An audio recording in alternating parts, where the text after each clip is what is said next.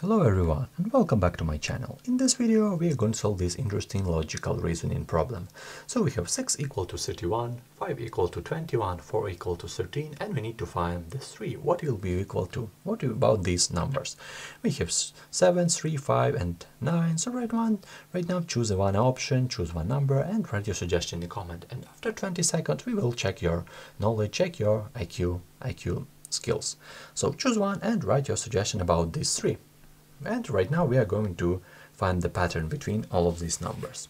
So take a look. We have right here even number odd, even odd, though it's not say for me a lot. But let's try to find right, right now the pattern between all of these numbers. So right here we have 31. How can we get these 30 or 31? I see right now on the left hand side that we have 6 and 5. So right here we have 6, I write these numbers right here, 6, 5, 4 and 3. Take a look. I, I see right now really interesting case because if we multiply these two numbers, so if we were talking about multiplication, we will have a really interesting case. We will have 6 times 5, so will be 30. And take a look right now on the next two numbers, two pairs of numbers.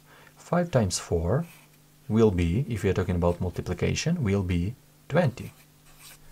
And the last one, 4 times 3 will be equal to we will have right now 4 times 3 will be equal to 12. But right here we have even numbers and right here we have odd numbers. And what the pattern between all of these numbers? We have right here 31, right here 30, on the right hand side, on the left hand side 21, on the right hand side 20, 13 and 12. Of course I hope you see right now that we need to add 1 to get these to, the, to get these numbers.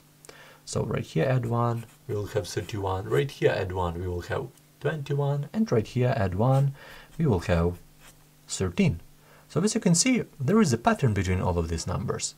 We multiply these pairs these pairs and these pairs and we need to add add 1 31 21 and 13 what about these numbers? How can we find this one? Of course easily because under these three we will have of course 2 and let's use the same logic.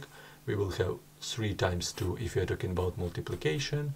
We will have 6 and we need to add 1 because there is a pattern between all of these numbers. So my option, my answer is 7. What about you? What, what answer you wrote in the comment?